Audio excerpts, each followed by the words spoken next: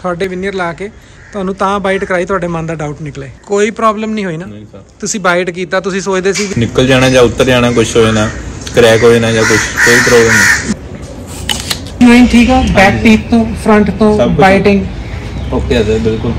Confidence ਆਂਦਾ ਵੀ ਠੀਕ ਆ। ਹਾਂਜੀ ਸਮਾਈਲ ਕਰਨ ਚ ਵੀ ਖਾਣ ਚ ਵੀ ਕੋਈ ਪ੍ਰੋਬਲਮ ਨਹੀਂ। ਅੱਗੇ ਨਾਲੋਂ ਹੋਰ ਵਧੀਆ ਹੋ ਗਿਆ। ਇਹ ਕੁਈਨ ਐਪਲ ਹੈ ਜੀ ਨਿਊਜ਼ੀਲੈਂਡ ਦਾ।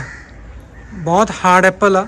ਫੁੱਲ ਕੌਨਫੀਡੈਂਸ ਫੁੱਲ ਹੁਣ ਲੱਗਦਾ ਵੀ ਕੋਈ ਪ੍ਰੋਬਲਮ ਹੋਊਗੀ ਐਪਲ ਖਾਣ 'ਚ? ਨਹੀਂ ਸਰ ਸਾਰੇ ਡਾਊਟਸ ਨਿਕਲ ਗਏ? ਹਾਂਜੀ ਸਰ ਟੁੱਟ ਜਾਣਗੇ ਨਿਕਲ ਜਾਣਗੇ ਖਾ ਨਹੀਂ ਹੋਊਗਾ ਕੁਝ ਈਜ਼ੀ ਆ।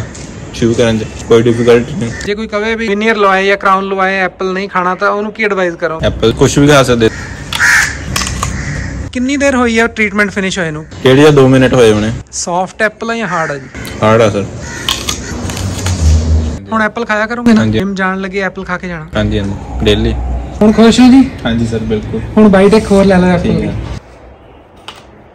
ਹੁਸ਼ਿਆਰਪੁਰ ਤੋਂ ਆਣਾ ਹੁਣ ਵਰਥ ਹੋਇਆ ਜੀ? ਹਾਂਜੀ ਬਿਲਕੁਲ। ਹੁਸ਼ਿਆਰਪੁਰ ਵੀ ਤੁਸੀਂ ਕਹਿੰਦੇ ਹੋ ਹੁਸ਼ਿਆਰਪੁਰ ਦੇ ਵਿੱਚ ਵੀ ਕਾਫੀ ਡੈਂਟਿਸਟ ਨੇ ਤੁਸੀਂ। ਹਾਂਜੀ, ਹਾਂਜੀ, ਸਰ। ਤੁਹਾਡੇ ਨੇੜੇ ਨੇੜੇ ਵੀ ਡੈਂਟਿਸਟ ਜਿਹੜੇ ਮੇਰੇ ਘਰ ਦੇ 1.5 ਜਾਂ 200 ਮੀਟਰ ਦੂਰ ਹੀ ਹੋਣੇ ਆ। ਬਟ ਮੈਂ ਫੇਰ ਵੀ ਇੱਥੇ ਆਇਆ ਤੁਹਾਡੇ ਤੋਂ। ਮੈਨੂੰ ਪਤਾ ਸੀਗਾ ਰਿਜ਼ਲਟ ਵਧੀਆ ਮਿਲੂਗਾ। ਇਸ ਕਰਕੇ ਤੁਹਾਡੇ ਤੇ ਯਕੀਨ ਸੀਗਾ। ਤੁਹਾਡੇ ਮੈਂ ਪਹਿਲਾਂ ਵੀ ਵੀਡੀਓਜ਼ ਦੇਖੇ ਆ। ਜਿੰਨੇ ਵੀ ਟ੍ਰੀਟਮੈਂਟ ਵਗੈਰਾ ਹੋਏ ਇੰਪਲਾਂਟਸ ਵਗੈਰਾ ਕਰਾਊਨਸ ਉਹ ਸਭ ਵਧੀਆ ਹੋਏ ਤਾਂ ਵੀ ਮੈਂ ਇੱਥੇ ਆਇਆ ਹੁਣ ਸੈਟੀਸਫੈਕਟਰੀ ਹੈ ਨਾ ਜੀ ਹਾਂਜੀ ਬਿਲਕੁਲ ਸਰ ਕੋਈ ਪ੍ਰੋਬਲਮ ਨਹੀਂ ਸਮਾਈਲ ਕਰਨ ਚ ਖਾਣ ਚ ਐਪਲ ਖਾਣ ਚ ਥੈਂਕ ਯੂ ਸਰ ਤੁਹਾਡਾ ਬਹੁਤ ਸਟਾਫ ਦਾ ਸਟਾਫ ਬਹੁਤ ਵਧੀਆ ਮੈਮ ਬਹੁਤ ਵਧੀਆ।